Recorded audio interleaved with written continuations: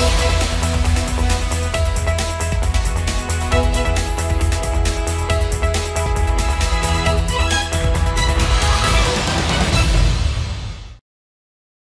Вечер на Думской. Продолжаем работу в прямом эфире. Продолжаем обсуждать решение суда по делу 2 мая с представителем правого сектора Сергей Коновалов на студии. Сергей, здравствуйте.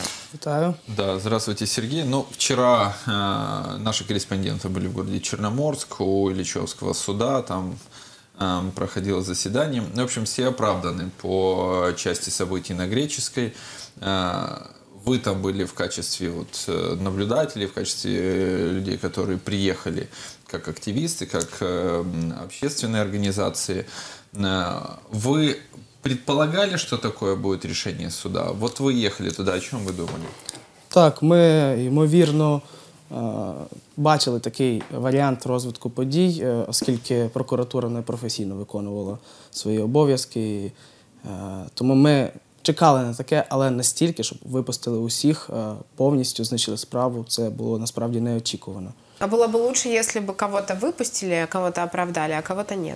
Е, ми рахуємо, що вони усі є вот мають бути засудженными. Ну, и дальше, что мы видели после оправдательного приговора, это потасовки, это столкновения активистов и полиции, закончились тем, что пострадали полицейские, несмотря на то, что активистов было значительно меньше.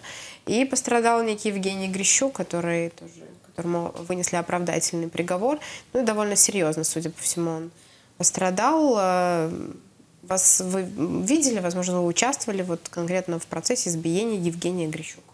Не знаю, невідомі патріоти це зроблять е, благі справи. Особисто ми ні. ні. А ви для чого там тоді присутствуєте? Ми ми присутні. Ми три роки, в принципі, ходили на ці всі суди, е, намагалися якось е, тиснути на суддів, ну, в позитивному сенсі цього слова. А буває так в правовому государстві? Я Давить рахую, в позитивному смислі а, на суд. У нас не не, правове, не правова держава. А, як можна казати про якусь законність, коли а, сама влада а, цю законність а, не підтримує? А почему вот вы говорите не, не правовое государство, и при этом а, ну, судебное решение во, много, а, во многом все а, соглашаются с этим, Э, что судьи не могли вынести, исходя из того, что было представлено следствием, просто не имели права выносить другой приговор.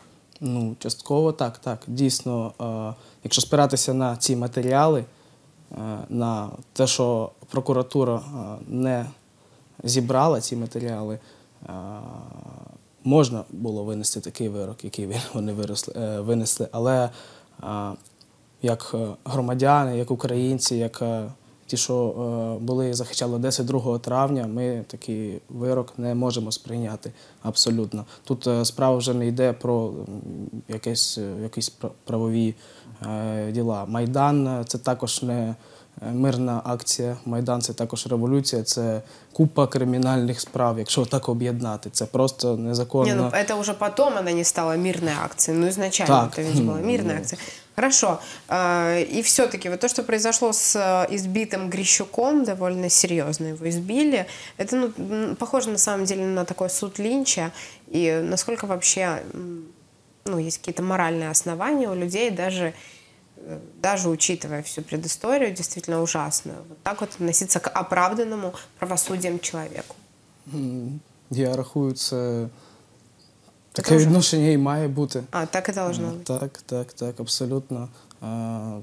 Це сепаратист, це людина, яка хотіла, щоб в Одесі була війна, яка закликала сюди війну, яка сюди її активно запрошувала. Ця людина ну, не може бути ну, а якщо оправдана ніяким законом. В рамках правосуддя?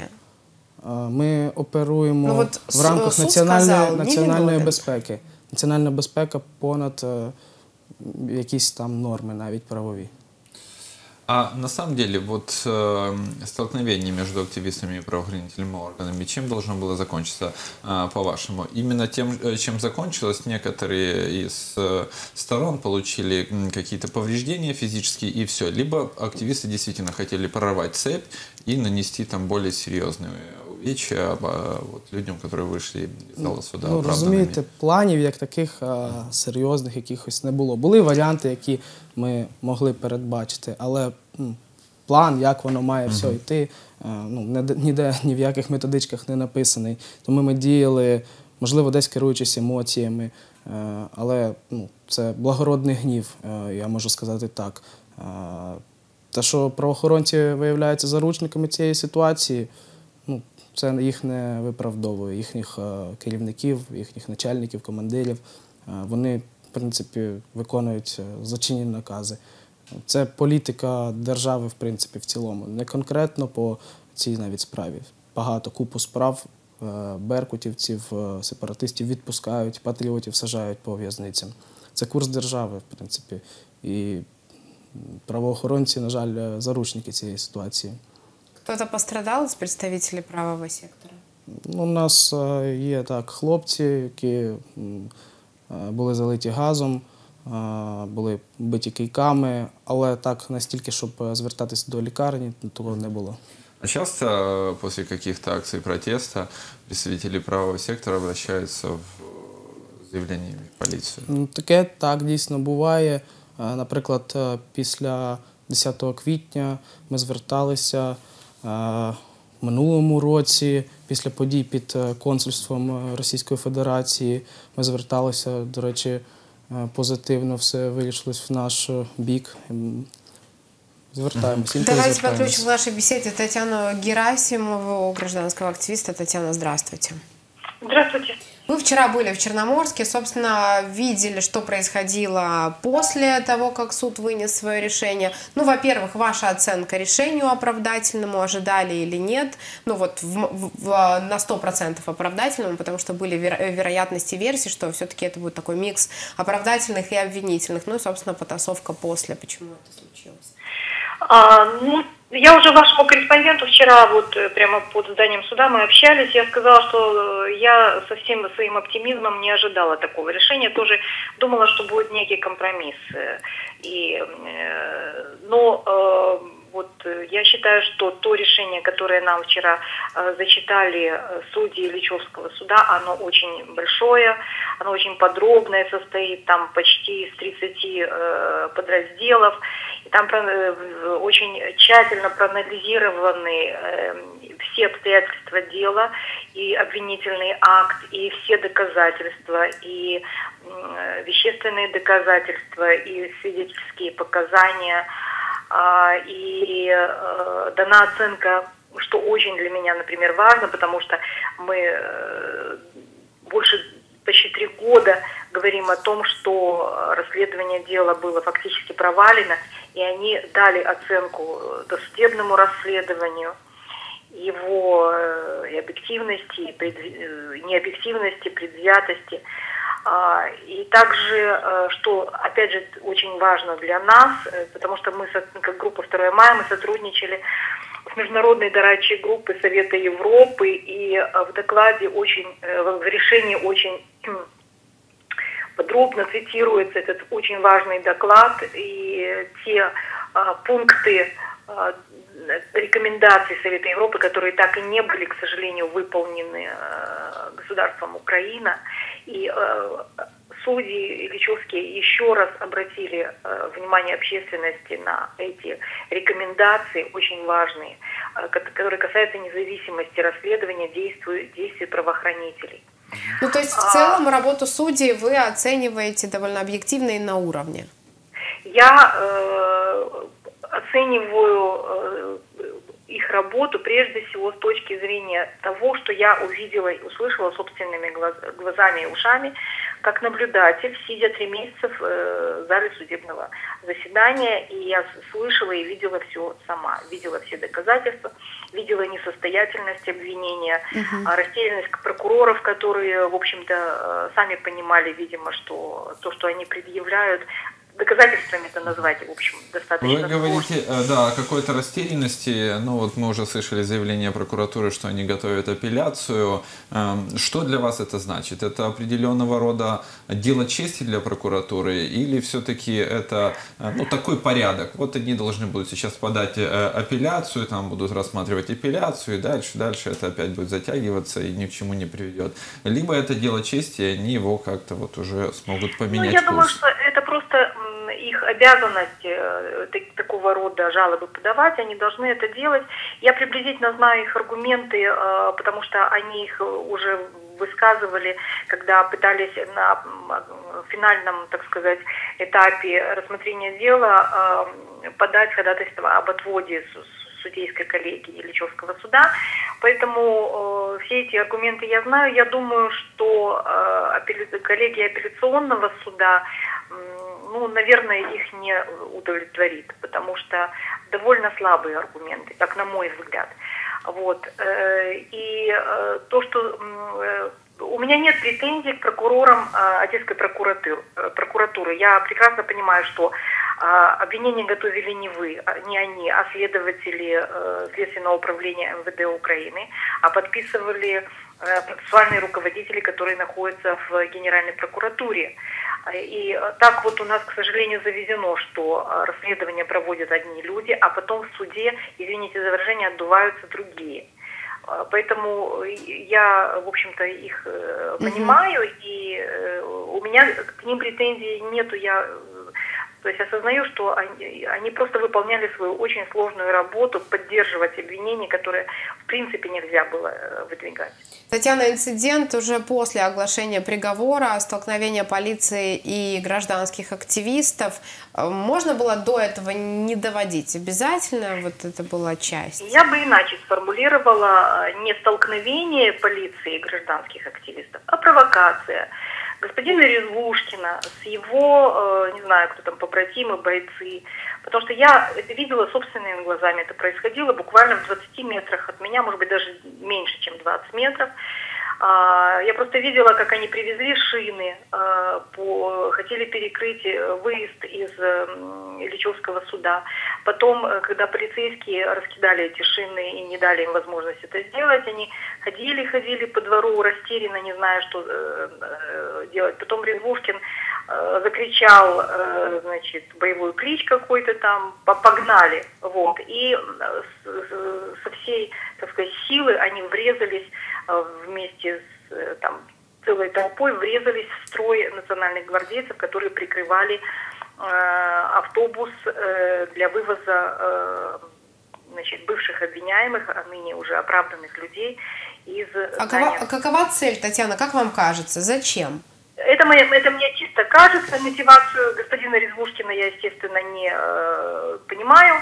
Э, но я думаю, что это чисто была картинка или, может быть, оправдать свое существование на белом свете, потому что никакого смысла в этом ну, не было. Уже было хорошо известно о том, что предъявлено новое подозрение а, Мефедову и Долженкову. И, в принципе, это именно те двое людей, которых эм, проукраинские активисты все эти два с половиной года не хотели видеть на свободе. И они не на свободе, им избрана мера пресечения была поздно вечером уже в Киевском суде. Ну, Какой то есть вы считаете, что... устраивать вот эту угу. бойню и поранить э, правоохранительных, э, ребят из правоохранительных органов, я другого э, повода, как вот такой недобросовестный пиар, собственной вот этой вот группы я не вижу. Услышали вас. Спасибо за ваше мнение. Спасибо. Татьяна Герасимова, гражданский активист, была у нас на телефонной связи. Разделяете мнение? Вы, в общем-то, тоже в часть, э, находились, веро- вероятно, да, в той части людей, которые... Мы э, були в перших лавах. Це, ну, це була провокація, согласны? Не згоден. Ні. Чому це провокація? Провокація Ну а зачем? Ну вот действительно, зачем? Если уже было все понятно, що ці люди не Ми збиралися заблокувати машину, на якій збиралися вивозити цих самих оправданих сепаратистів. Ми почали будувати барикаду з однієї сторони. То, що Резвушкін робив на іншій стороні, мы не знали, можливо, там щось то. Я, я Вы не, не знаю. согласовываете никак свои действия. Ну, то есть не, присутствует не, не, группа не. активистов, которые, в общем-то, по идее, должны выступать единым фронтом. Ну, потому что Ну, на цель жаль, у у вас, по нас сути, е, одна. одеське патріотичне середовище розколото вже дуже Ну, давно. подождите, ну цель одна у вас была? Или Цель, вы так, тоже так, преследовали так. разные Тут- цели? ні, При тут одной всі- цели вы всі- все равно действовали в разброс, Всі рухи да? тут об'єдналися е, принципово. Це принципова для нас справа, для усіх. Е, Ну, і То есть намага... здесь а, объединились? Так, Или так, нет? так. Е, Спільних якихось е, координацій з Да. усіми іншими органі- організаціями абсолютно спільних дій не було. Але ну, ситуаційно діяли разом. Ситуаційно це е, вияв е, нашої, нашої волі якби всіх разом. Е, Це не є провокацією, це є е, громадське обурення, громадський протест. Е, І в даному е, разі поліція діяла незаконно. А что, а что было де- э, незаконно в действиях полиции, которая сама себя защищала в момент, когда активисты по команде на них накинулись? Е, Активісти підійшли до них, е, після чого був е, використаний сльозоточивий газ. Е, Першими можете м, передивлятись відео, особисто я там був, не бачив, щоб активісти першими е, прямо атакували е, поліцію. Поліція атакувала нас першою, Національна гвардія. Прыгали на вас? Ну, угрожали вам, как они атака- А. Я бачив е, навіть е, такі кадри, коли е, хлопця, не знаю, активіста, десь 3-4 е, нацгвардійця забивали ногами вже лежачого. Я бачив ці, ці кадри, це вже трохи далі, ніж Відеозаписи. ну, суда, але це ну зачем?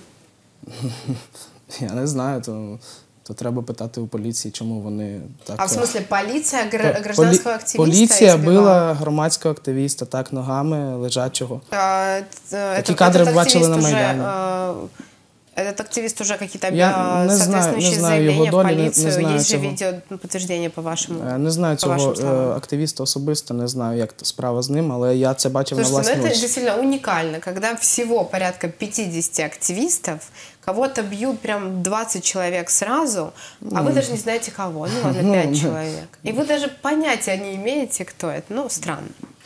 Ладно. Спасибо. Ну да, благодарим, а, что сегодня были у нас в студии. А, э, Я думаю, что мы еще когда-нибудь с вами вернемся к этому разговору.